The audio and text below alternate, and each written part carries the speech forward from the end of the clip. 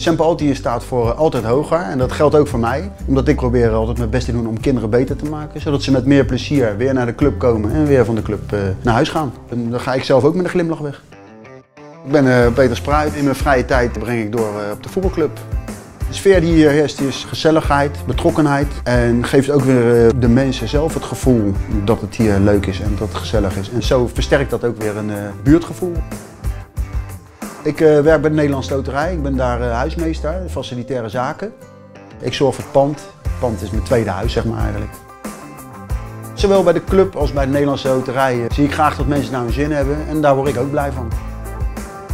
Ik ben trots op Semper Altius, want we hebben hier echt een hele leuke club. Mensen die veel voor elkaar over heeft. Of dat nou op de club is, of dat het nou op het werk is bij de Nederlandse Loterij. Ja, het is allemaal hetzelfde.